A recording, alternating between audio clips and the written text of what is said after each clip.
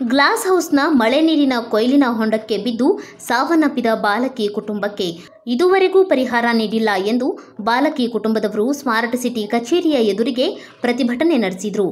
ಹುಬ್ಬಳ್ಳಿಯ ಗ್ಲಾಸ್ ಹೌಸ್ನಲ್ಲಿ ಸೆಪ್ಟೆಂಬರ್ ಇಪ್ಪತ್ತೆಂಟರಂದು ನಗರದ ಗಿರಣಿ ಚಾಳದಲ್ಲಿ ಮಳೆ ನೀರಿನ ಕೊಯ್ಲಿನ ಹೊಂಡಕ್ಕೆ ಬಿದ್ದು ಸಾವನ್ನಪ್ಪಿದ ಬಾಲಕಿ ಪ್ರಕರಣದ ಹಿನ್ನೆಲೆಯಲ್ಲಿ ಘಟನೆ ನಡೆದು ಮೂರು ದಿನ ಕಳೆದರೂ ಬಾಲಕಿ ಕುಟುಂಬಕ್ಕೆ ಪರಿಹಾರ ಇನ್ನೂವರೆಗೂ ಸಿಕ್ಕಿಲ್ಲ ಅಂತ ಬಾಲಕಿ ಕುಟುಂಬದವರು ಸ್ಮಾರ್ಟ್ ಸಿಟಿ ಕಚೇರಿಯ ಎದುರಿಗೆ ಅಧಿಕಾರಿಗಳ ವಿರುದ್ಧ ಆಕ್ರೋಶ ಹೊರಹಾಕಿದರು. ಬಾಲಕಿಯ ಕುಟುಂಬಕ್ಕೆ ಪರಿಹಾರ ನೀಡೋದಾಗಿ ಹೇಳಿದ್ದ ಜಿಲ್ಲಾಧಿಕಾರಿ ನಿತೀಶ್ ಪಾಟೀಲ್, ಜಿಲ್ಲಾ ಉಸ್ತುವಾರಿ ಸಚಿವ ಜಗದೀಶ್ ಶೆಟ್ಟರ್ ಇನ್ನೂವರೆಗೂ ಪರಿಹಾರ ನೀಡದ ಕಾರಣ ಬಾಲಕಿಯ ತಂದೆ ಪರಶುರಾಮ್ ಎರಗಂಳಿಯ ಜೊತೆಗೆ ಸಮತಾ ಸೇನೆ ಸಂಘಟನೆ ಕೈಜೋಡಿಸಿ ಬಾಲಕಿ ಕುಟುಂಬಸ್ಥರು ಒಗ್ಗೂಡಿ ಪ್ರತಿಭಟನೆ ಮಾಡಿದರು.